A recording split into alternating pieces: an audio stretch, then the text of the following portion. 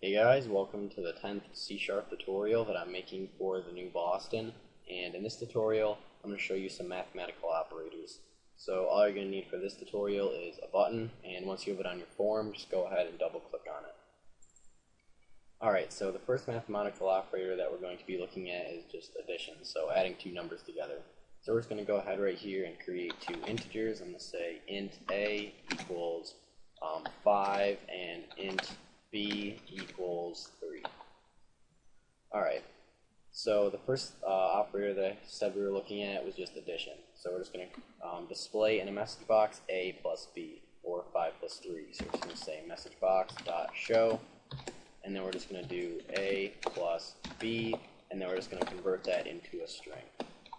Alright, so let me explain this right here. So basically what I did is put a plus b in parentheses so that what it will do is it will first add a and b and then convert the sum of a and b into a string. So it'll add 5 and 3 right here and then just convert 8 into a string, which is the sum of a and b. Alright, so we should just get 8 inside of a message box. Yep, perfect. Alright, and for um, subtraction, you're just going to want to do a little dash. So now it's a minus b, and we should get 2 in a message box since a represents 5 and b represents 3. So 5 minus 3 is 2, and yep, we get 2.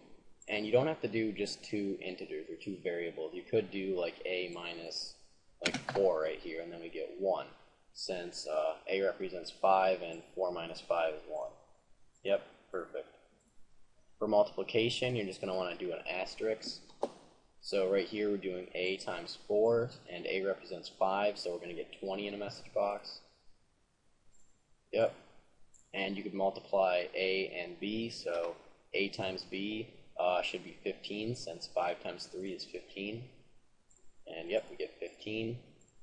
And you could do division as well. And for division, you're going to want to do a slash. So now it's a divided by b, so um, 5 divided by 3, and we're going to actually make these even numbers, so I'm just going to do like 6 divided by b, and we should get 2 since 6 divided by 3 is 2. And yep. And we could just do two regular numbers. So if we wanted to do like 12 divided by 2, then we should just get 6, since 12 divided by 2 is 6. Yep, perfect. Alright, so that's really all there is for mathematical operators. Now we're going to get into something else. Alright, so what if we just wanted to add um, like 3 or 4, if we wanted to add 4 to this integer right here. Well, what we could do is we could say a equals a plus 4. But there's a way easier way to do this. What we could do is we could just do a plus equals 4.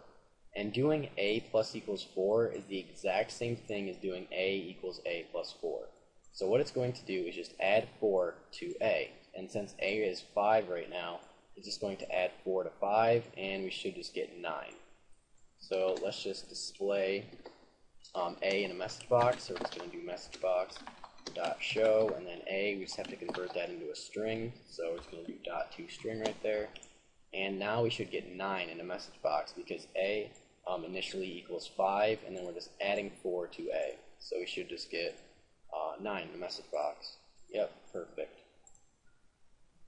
Alright, and you can do minus equals as well, so what this will do is it will just subtract 4 from A, so since a is 5, it'll just subtract 4 from a, and or 4 from 5, and we should just get 1 in the message box. Yep. You can do multiplication as well, so if you can do uh, a times equals 4, so it'll just multiply a times 4, and then set that equal to a.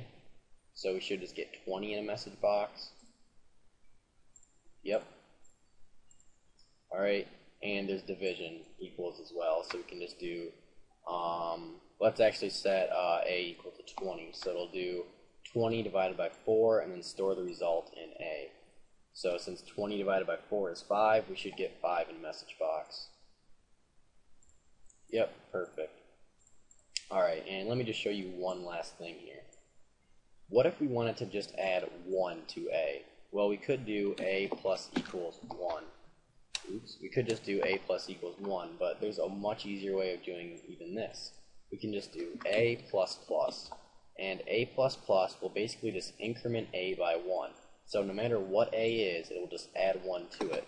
And a is 20, so it'll just add 1 to 20, and then store that value in a. So we should get 21 in a message box. Yep. And you can do decrement as well. So we can just do minus minus right there, and that'll just subtract 1 from a. So we should get 19 in message box since 20 minus 1 is 19. And yep. Alright. And there's one other thing you can do with this. So you could put the minus minus before A, and what that will do is it will just do this first. So if you had other things on, on this line right here, like if we were to do um, minus minus A and then convert that into a string, we would get 19 in a message box because what it will do right here is it'll just do this first and then it will convert it into a string. So we should get 19 in a message box. Yep. But if we were to put the minus minus after it, it will actually do that after it's uh, done showing the message box. So we're going to get 20 in a message box because it did that last. And same goes for plus plus. So if we were to just do plus plus after it, then it'll do it after this line is being executed or done being executed. So we're going to get 20 in a message box still. Yep. But if we were to put the two pluses before the A, then it will do that first, and we should get 21 in a message box. It'll add 1 to uh, A, and then it will convert it into a string. Yep, perfect. Alright, so that's pretty much it for this tutorial. So, see you guys.